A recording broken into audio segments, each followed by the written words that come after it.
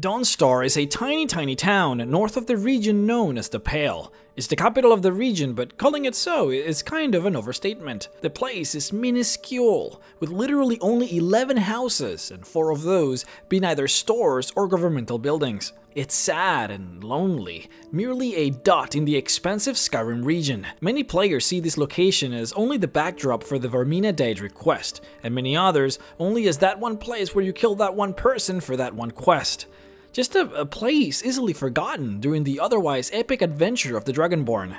But there are a lot of interesting things in here, so let's dig in. Number 1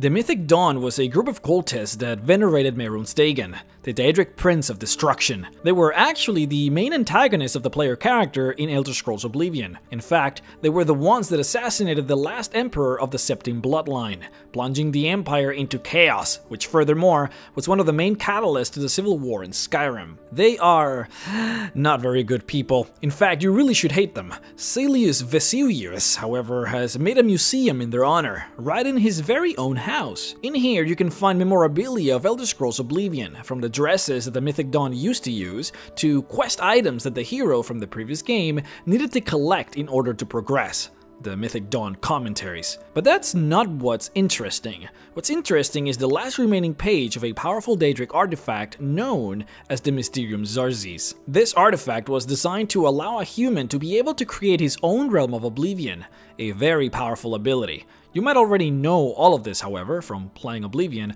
What you might not know is that we can actually read what's in the page.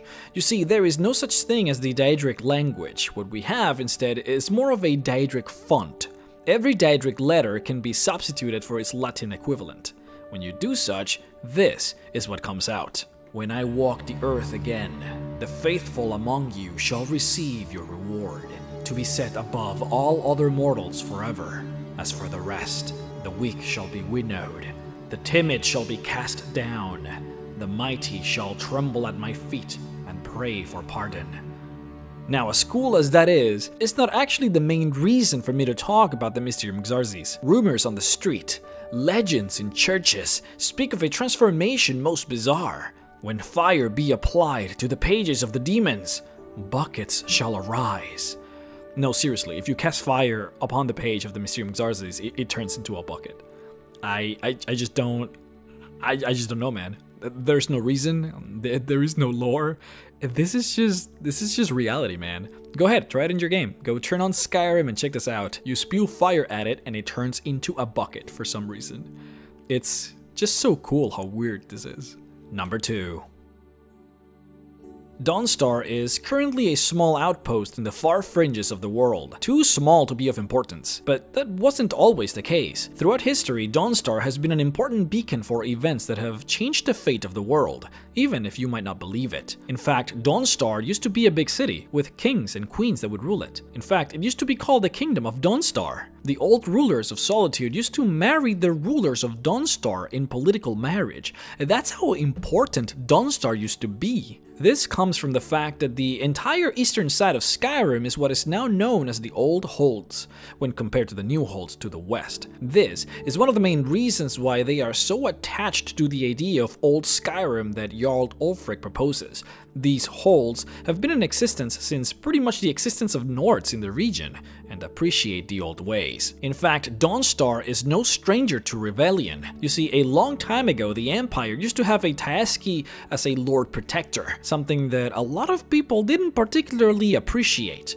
He wasn't chosen by the people, he was merely the advisor to Reman Cyrodiil III, and when Reman died, the Tsaesci was chosen to maintain order until a new emperor was elected. It was none other than the Nords from Dawnstar that rebelled against this ruler by destroying his fortifications in the region. This caused a bloody war that lasted for 37 years all across the empire. Also, did you know that the region where Dawnstar resides, the Pale, wasn't always supposed to be called that either? In fact, you can see it on some of Skyrim's maps that the developers were going to call the region White Shore, but they seemingly decided against it. You can see that still on the Russian translation of the game, where the name White Shore is actually still in the game. Number 3.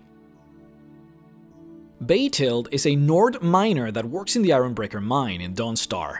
She is in fact the owner of the establishment and works really hard to compete with the only other mine in town, the Quicksilver Mine. A Dark Brotherhood contract has been put on her, a quest that will have you go to the small town in order to kill her. The question is why though? Why would somebody want to off her, especially when she essentially owns one of the only two sources of jobs in the town? When you start digging deeper, it turns out, as amusing as it is, that her main competitor, the owner of the Quicksilver Mine, is actually her ex-husband. The nature of their divorce is never divulged in the game, but many times over you can overhear Beitild tell her workers to work harder in order to compete with who she calls her enemy, a person that the miners call her husband. Now there are many clues scattered across Dawnstar that leaves me to believe that the murderer is the ex-husband, though they're not as much clues as they seem to be hints. First and foremost, people in town seem to believe that Leigelf and Beitild are still married. It's, it's odd because they don't seem to be acting like they're married, but people seem to think they are. Almost as if they're trying to keep it secret. Especially interesting considering that a priest of Mara, you know, the actual goddess that marries people, just so happens to be in town. A person that you would think should be able to divorce them if they would want it to. Which makes the relationship just even more odd. There is a small dialogue option that happens when you speak to some of the sailors in the Sea Squall, the ship that's anchored at the bay. The captain of the ship just recently inherited the boat from his mother, but interestingly, one of the sailors claims surprise at the fact, claiming that the concept of inheritance is interesting, that you could technically just kill a person and obtain their belongings by just a rule. This character does happen to hang out oddly close to Leigelf. It's even more interesting that if you do randomly kill Leigelf, then Beitild will say that she sort of misses him, Something that you would imagine would be common if you were to lose someone that you at least at some point cared for. But if you do end up killing Beitild, as per the Brotherhood quest, then Leigelf will say no such thing. In fact, he'll be more than happy that she is now dead. The next thing is that the Quicksilver mine is actually doing a lot better than the Ironbreaker mine. So if Leigelf wanted to kill Beitild just to avoid competition, well, that is sort of silly, isn't it? His mine is already winning. So why would he do that? The only reason I can think is that maybe everyone still believes that they are married, so when she dies, the only just thing to do would be to give him her mine as inheritance, and nobody would be the wiser. Number 4.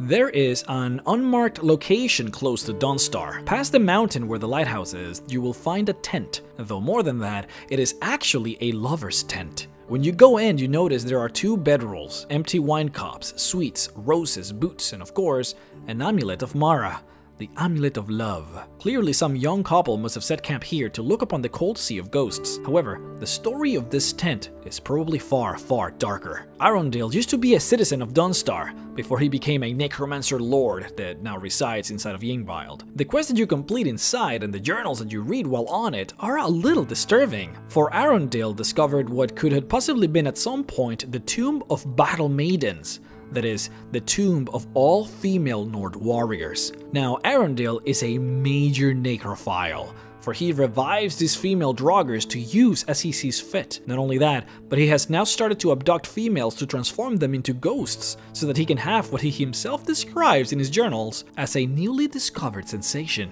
Thing is, Arondil was actually always a pervert, including when he used to live in Dawnstar. Arondil claims in his journals that he used to fantasize about girls from Dawnstar, not particularly dating them, since they wouldn't pay him any attention, but simply daydream and pretend. This lover's tent is more than likely a remnant of Arondil's time in Dawnstar, imagining what life could be if it was attractive. Number 5.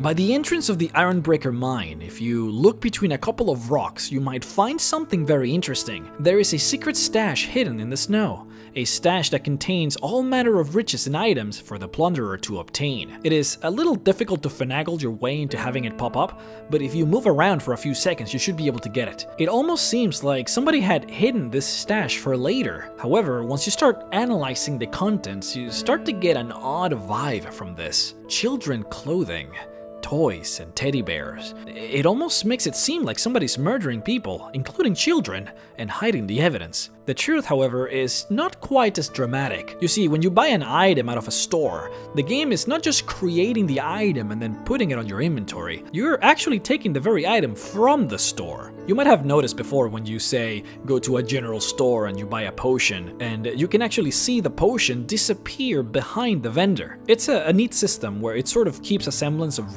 realism where you can actually see around the store what the vendor can actually sell. Sometimes though, in fact most of the time I would say, the vendor doesn't have space in his store to showcase everything that he is selling. Because of that, the game has secret chests hidden underground where the items are found, before the players can buy them. They are hidden in a way that it is impossible for the Dragonborn to find them, unless they are of course cheating. This is why when you remove clipping and go floating around Whiterun, you can see so many hidden chests below ground.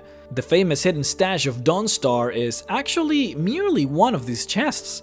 You might wonder though, which vendor is the owner of this chest? I mean, there is no store right at the entrance of the mine. Well, my good friend, the chest is actually from Ahkari, the Khajiit caravan vendor who makes his way into Dawnstar every once in a while. Hope you guys enjoyed the video, and I apologize if you guys already knew some of these, or if they didn't seem as crazy as some of the other ones that we have done. Um, see, Dawnstar is just so tiny, man, it's hard. Uh, but I did my best. If you want to help out the channel like Alexander Bryson and Dylan Baker did, then head on over to patreon.com slash MrRhexx and support us. Every dollar helps and it's greatly appreciated. Have a good week, you guys.